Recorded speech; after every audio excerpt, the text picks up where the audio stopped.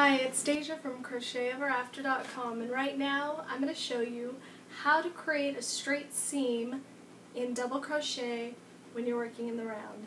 So if you're creating beanies or cowls or anything else in the round and you tend to have a slanted seam, I'm going to show you what causes this and also how to fix it. So let's grab some yarn and let's get started.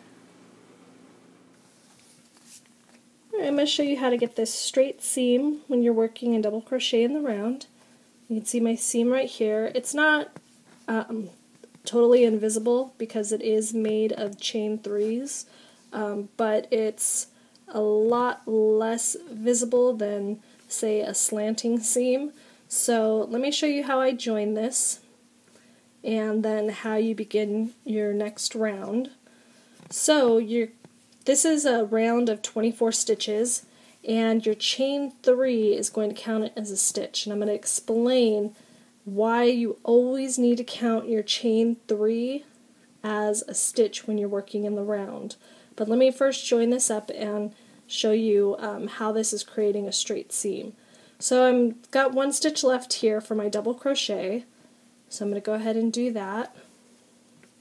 And then I'm going to join my round at the top of my chain three. So this was my turning, technically turning chain. You're not turning because you're working in the round, but to get the proper height for all of your double crochets, you always want to chain three at the beginning of any row or round that you do. So you'll see this is kind of a bulky chain three also. What you can do to make your join a little bit less noticeable is to make a bulky chain three, which I'll do right now also to show you. But I'm going to join at the top of my chain three, so here's one, two, and three. And I'm going to slip stitch that. The tighter you pull your slip stitch, the less noticeable it will be.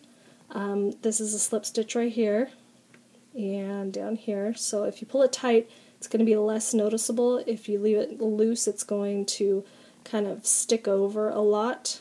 So just pull that tight and it'll make it less noticeable. So if I just do a regular chain three, that's the size of my shaft, I'll get kind of a skinny looking stitch as compared to my other double crochets, which are kind of the ones that I did down here. I did kind of just normal chain threes.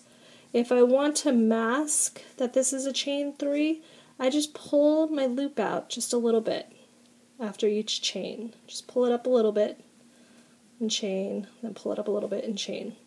And what that's going to do is when I join, when I make my first um, double crochet, and when I join, it's going to squash it down and make it fatter, which is going to minimize the look of the two side holes that you kind of get where your join is.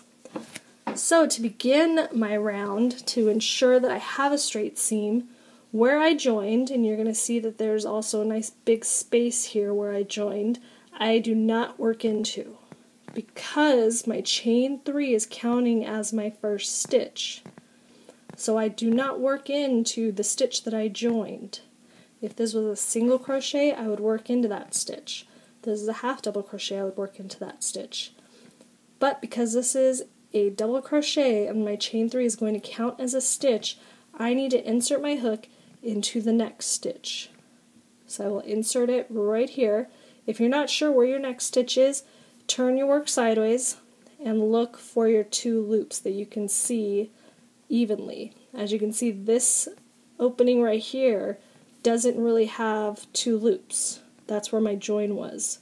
My first set of V's, or my first stitch, is right here. So that's where I want to insert my hook.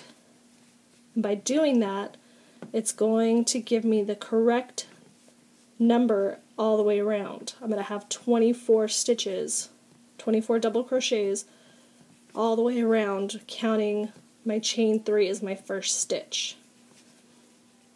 So I'll quickly work around this round so you can see that joining up is going to give me that straight seam. I'm also, after I join this, I'm going to show you some problems that you may have encountered and also explain why you need to count that chain 3 as a part of your as a part of your stitch count. Because some patterns will tell you to ignore the chain 3 and just do 24 double crochets in the round. And there's a couple different ways that you can join when you do that, but both joins, one is going to create a slant and the other join is going to create a very bulky seam. So you may have to adjust your pattern to get the nice outcome of the straight seam without the bulk. So I'm almost all the way around. If you need to learn how to make double crochets, I have those tutorials available. Have them for working in the round, um, increasing, decreasing, all of that is available. I'm just working these nice and quick so I can get back to my join so you can see that my seam is going to stay straight. Almost there. And what you want to do when you first start your first couple of rounds is make sure that you're counting your stitches because sometimes this last stitch may be a little bit a little bit confusing about whether or not to work into it. You might say, "Oh, am I supposed to work into that?" In some other stitch patterns, it might be a little less visible. You can tell once you get a couple rows going, rounds going, you'll be able to see easily that you should be working into that stitch. So if I went ahead and counted all of my stitches around, you would see that including this chain 3, I now have 24 stitches. So now I need to go ahead and join my chain 3 again.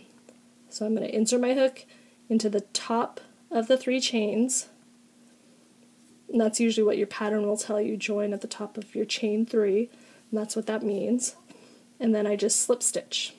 So, as you can see, by doing the bulkier chain, it kind of pushes it out and makes it fatter so that the little hole is not as visible. And I get a nice straight seam going all the way up. So let me show you now what some problems you may have encountered in the past, depending on if the pattern is written a certain way or if you just happen to work it a certain way, because sometimes they're not quite as descriptive as you would hope they would be. So this pattern here, this sample, it told us that the chain 3 counted as a stitch. But instead of starting our first double crochet in the stitch after, we joined it at the same stitch as our chain 3 or in our join. So when we worked around, we got to 24, and we have that extra stitch that didn't get worked into. We just joined up with the chain 3, now we have a slant and a big hole. So make sure that you're not starting your first double crochet in the same stitch as your join because that is what's going to happen. So if you see that happening, you're missing that first stitch. You need to move it over to the first double crochet you come to. So the next one I have, this one, the pattern tells us not to count the chain 3 as a stitch. So when we work it, we chain 3 and then we're double crocheting into the join, but unlike this sample, we do a double crochet in that last stitch. So technically we'll have four, 24 actual double crochets plus your chain 3. And then it's having you join it not in the top of your chain 3, but in the first stitch that you made of an actual double crochet. And what this does, you see it's a straight seam, but it's a bulky seam because your chain 3 got pushed to the outside. So our join is up here on this first stitch, and our whole chain 3, there's one, two, three, got pushed to the outside, so it creates a bulky straight seam. So this is why we don't want to count our chain 3 or not count our chain 3 as a stitch. If you count, don't count your chain 3 as a stitch and join at your chain 3, so I have 24 double crochets plus my chain 3, but I joined at my chain 3, I get a slanting seam. Here's my seam right here.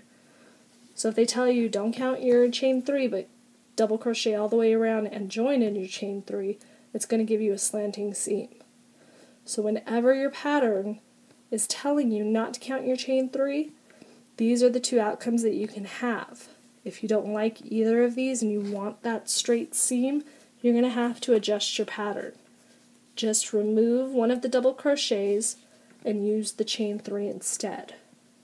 So if it tells you to chain three, don't count it, and then DC or double crochet 24 times, only double crochet 23 and count that chain three as your very first double crochet. So that is how you are going to create that straight seam when you're working in the round and double crochet. If you have any questions, leave me some comments below and I'll answer them for you as quickly as I can. Thanks a lot.